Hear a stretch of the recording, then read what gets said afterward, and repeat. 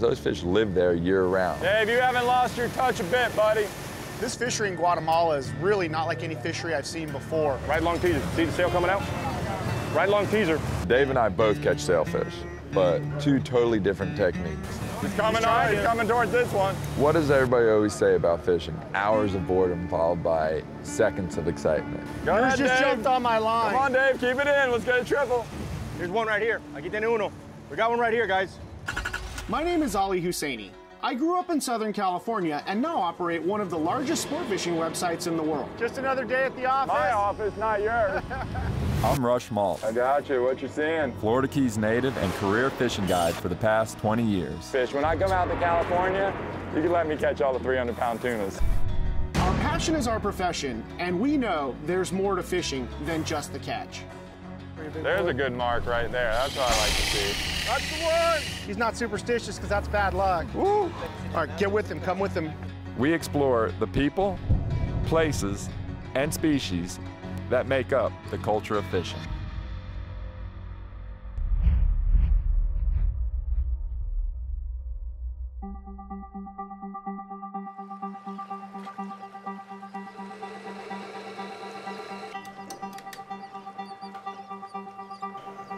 One of the biggest things for me when it comes to fishing anymore is really not the fish, it's more the adventure. I like to go to new places, I like to check out new things, I like to meet new people. And then there's kind of the exception to that rule, and I think that's sort of a comfort factor. There's also some places that I love to go to every year. I love to go back to Baja. I love to come to the Keys. I love to go to Louisiana. And Casa Vieja definitely falls in that latter category. So I've been to Casa Vieja a couple times now. The thing about Casa Vieja I really like, I really enjoy, is the opportunity for me to go somewhere and just turn it off. You know, fishing being what it is, you know, there's a lot of factors that go into a good fishing trip, just like a good day of fishing and catching fish. One thing is for certain, Casa Vieja is a sure thing. And when I say sure thing, what I mean is you can go to Casa Vieja any day of the year and you can expect to catch a bunch of fish, have a great time, be pampered, eat great food. I mean, it, it's as turnkey of a fishing package as there is. From the time I land at the airport, everything is taken care of. From the fishing to the food to where I'm gonna sleep. I mean, it's just hands down, you get to turn it off and enjoy yourself and not think about a thing. I saw that one come up on the teaser, just a little splash. I actually thought it was the bait. That's a big one. What do you got, Rutchy? Little spindle beak. I'm glad to see Casa Vieja is just how we left it.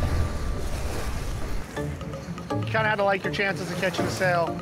This fishery in Guatemala is really not like any fishery I've seen before. And from what we've seen, the fish kind of come in, they kind of go out. That's That's a big, one. sailfish. You know, sometimes they're as close as 15 miles, sometimes they're as far as 50, but they're always around somewhere. You've seen more striped marlin, right? We've been seeing some stripies. Actually, one of the boats just caught one now. And once the fleet locates that meat, they call everybody else in and they really just beat up that area using, you know, their proven tactics to make the most out of the opportunities. It's for going, Rush. Thanks, buddy. It's a good hook job you did there, buddy. Thanks, buddy. Clear it. This one.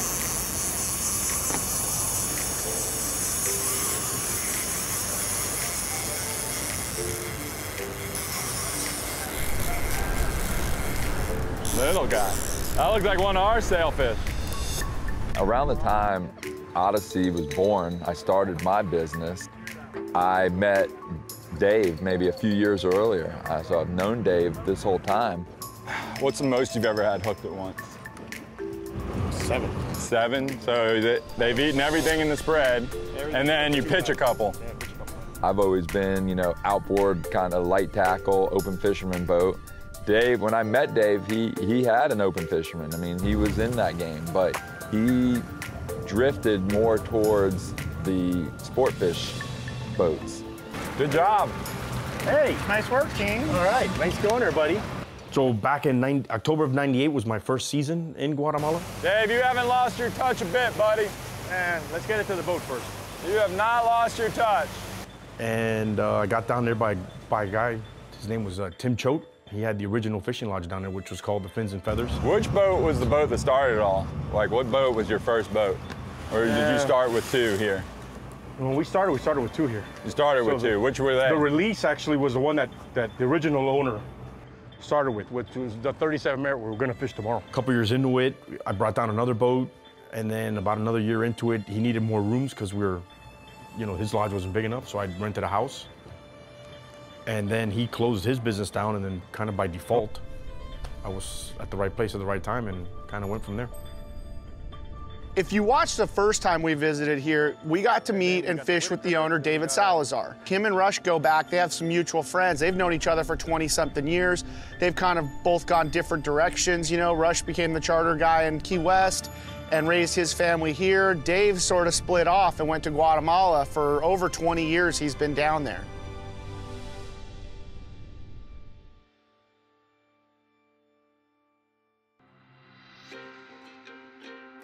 Local knowledge is brought to you by Evinrude, Penn, Let the Battle Begin, Yeti Coolers, built for the wild, the Florida Keys and Key West, come as you are, Simrad, go with confidence, go with Simrad, Nomad Design, crafted by experience, and BDOutdoors.com.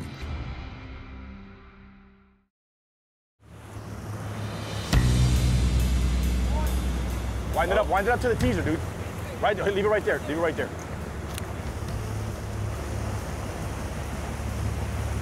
Who's coming on it? I got it. Yeah, he ate it. He dropped it. He dropped it. The other thing that makes this fishery so unique is it's all catch and release. They don't take any sailfish, and it really piques my interest. I'm wondering how often these fish are getting caught. Take that left, take that right rigger out, pop it out, and get ready for a bite. Just stay in that corner and get ready for a bite. Now working that same area. Do you think that might be the same fish? Eh, I doubt it, but I think there's more than one around, is what you're yeah, saying? there's more than one. They run in packs. They're running back. I'm not sure what traps all those fish down in Dave's backyard. That's where they live. Guatemala has probably the best sail fishery I've ever seen in my life. We've put out probably over 10,000 tags, and we've maybe gotten three back. Is that possible? Yeah. So do you Three, think there's back. a million sailfish in here? There's just a pile, a pile, a pile of fish. crazy. It's a huge, over the years, we've got over, probably over 10,000 tags over the years. And like I said, we've gotten three, four back, five, maybe five, Yourselves over- or anywhere? just our lodge.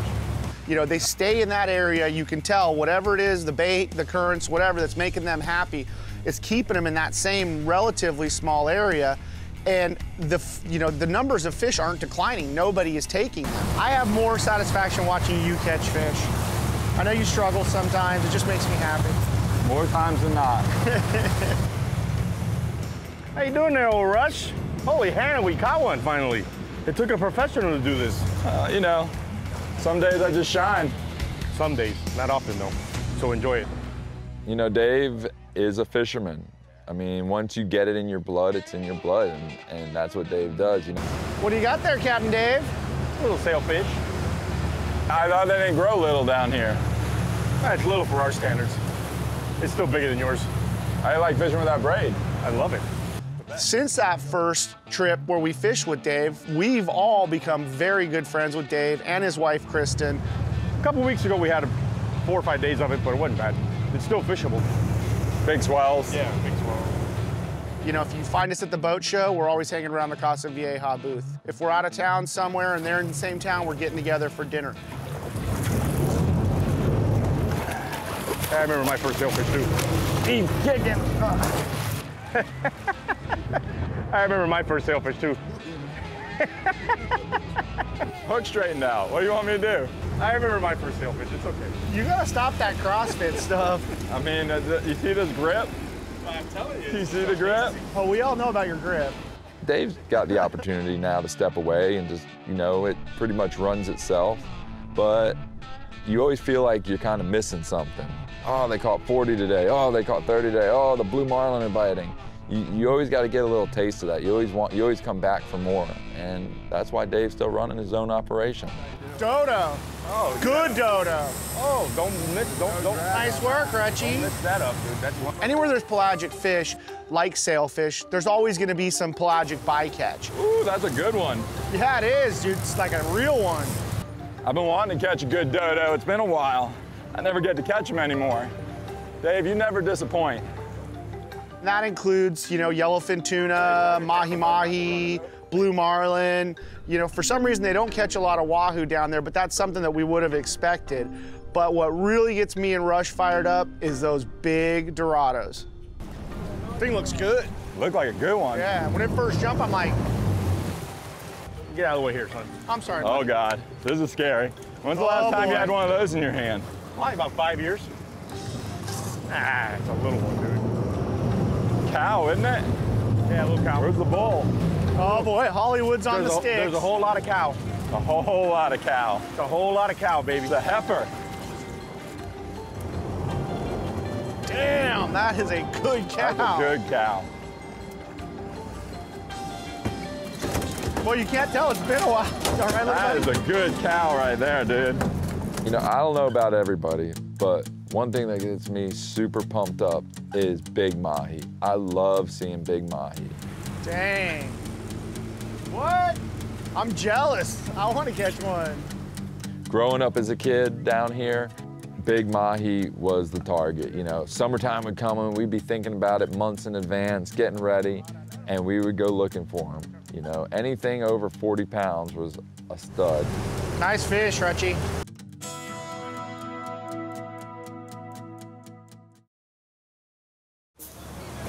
Right long. Right long teaser. Look at his dorsal out. I got him. I got him. I got Right him. long teaser. Go back, go back. Hold it right there, hold it right there. Dave and I both catch sailfish, but two totally different techniques. He's coming He's on. trying He's coming towards this one. Watch your side. You look like you switched. Dave's trolling, raising these fish, dredges, teasers. I'm live baiting for him. Kites, goggle eyes, thread herring, pilchard. How did I end up with the rod again, by the way? Well, if you mean you, you, you're throwing elbows now, it's personal. Both techniques extremely effective.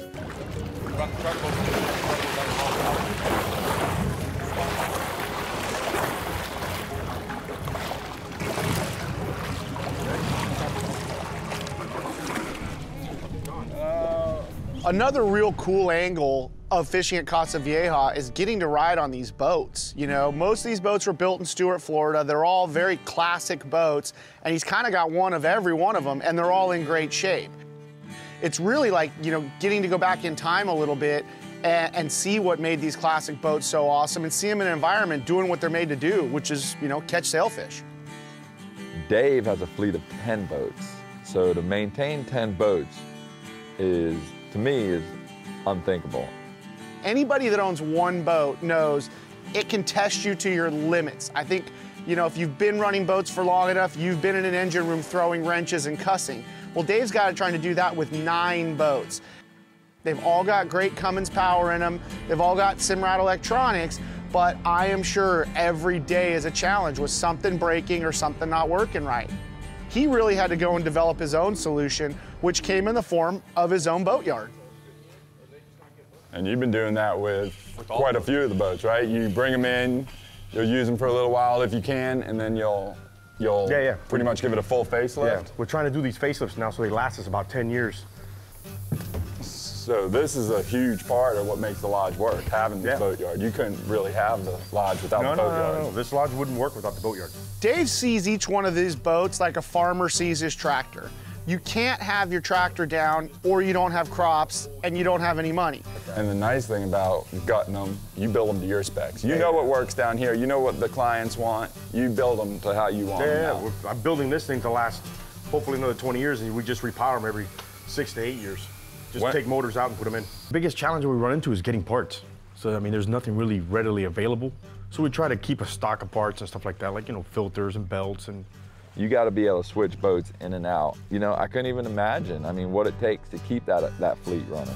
Knowing you 20 years ago and seeing you now, I mean, you've accomplished a lot. I mean, you should be proud of yourself. Hey, I don't want to touch you. No, go ahead. You got it, buddy. You couldn't help yourself, could you?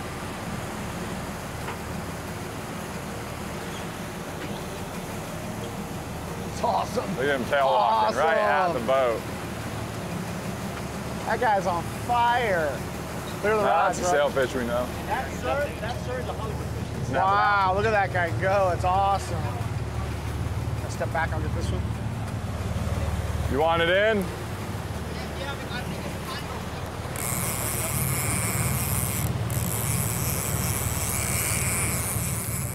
One of the main things about Dave's fishery that I've noticed being down there a couple times is I feel those fish are residential fish. Had a little slow start this morning, but four for four now. Four for four. I missed two this morning, now I'm four. Who's counting? I don't know, I guess I ain't. You keep jumping up like you're a rabbit. Oh, dude, I can't help it, dude. You guys are slow. Those fish live there year round and you can always target them and that's why his fishery is so good. Look how lit up that one is. What does everybody always say about fishing? Hours of boredom followed by seconds of excitement. Damn it. Oh, he pounded that. I'm on two, Rush. Come on. Double. Under. Go Yours ahead, just Dave. jumped on my line. Come on, Dave, keep it in. Let's get a triple. I think yours just jumped. I might be off. I don't know whose fish is whose. Oh no, we're. Mine's way back there. I think we're clustered. Isn't that yours no, close? you're not even near to me. That's yours.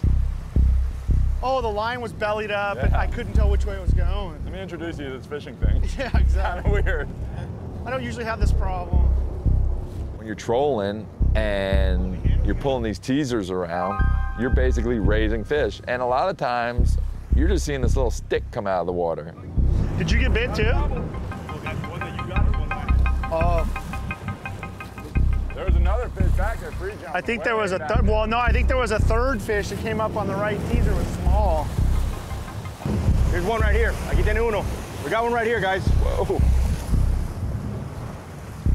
Put the rod tip in his hand. All right. Keep winding, keep winding, bud. Keep winding, keep winding. Keep winding, keep winding. There you go. That was perfect. Oh, hey. And we got a triple, girls.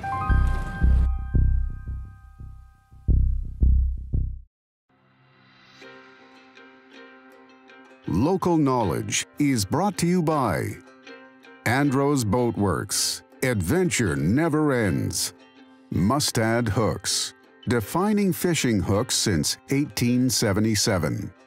AFTCO, the American Fishing Tackle Company. Costa. See what's out there. Seakeeper. Once you feel it, you'll never boat without it. SeaDek. Your boat deserves Sea Deck. FLIR, the world's sixth sense. And by Casa Vieja Lodge. Experience five star angling in tropical Guatemala.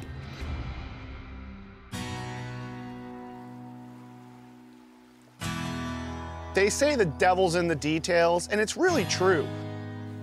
Dave and Kristen have fine tuned this lodge, and I mean fine tuned from the food to the service to the drinks to the Casa Vieja chapstick. I mean, they've got it all covered. It's all done right, it's all done professionally, and I think that's what keeps their clientele coming back. A lot of people lately have been coming back. It's more because of the experience, the whole lodge experience, actually. And the bill fisherman is like, I guess like anything else, like a tarpon fisherman, a trout fisherman. It's a guy that specifically loves to bill fish and where else to do it, but the best place on the planet. Big mouth. Big Mow mouth. mow. Big man. Mow mow. Is he the big? That's a good one. That's a 40 pounder. You would think there was a follower. All these singles. Is that normal, Dave? What? That there are so many singles? Single Dorados? Yeah. This week, last week they were coming in in herds of five and ten. I swear I catch a million of these and they still get me jacked up, the big ones. Oh, the big the big ones are fun, dude. They're so awesome. That big blunt head, With that one in PV. the colors. I mean, what Dave's built is amazing. I could catch dolphin all All day, day. every day. Well, that's like, you know, back home, you know, South Florida. That's a good one. Look at those fins. Is that gonna be dinner at the lodge? You know, we get to fish in a lot of different places with a lot of different people, but Casa Vieja, it really does feel like our second home.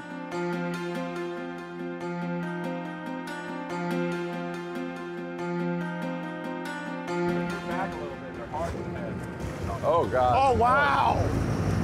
Oh, he barely got him. Ow, that's my dad. Sorry, buddy. That is a good one, man. Never gets old catching those things, huh, Rush? No, man, look how pretty they are. We really enjoy the people. We really enjoy the fishing. We really enjoy the service, and that really makes for a great laid-back fishing getaway. God, so pretty. Look at that. Look at that rod. That's what we call them up in the Keys. Why? Goofing her off. You know, after making my second trip down to Casa Vieja in three years and seeing Dave and seeing Dave's operation, it's time for me to get him back over here and show him my neck of the woods. Knowing you 20 years ago and seeing you now, I mean, you've accomplished a lot. I'm, you should be proud of yourself.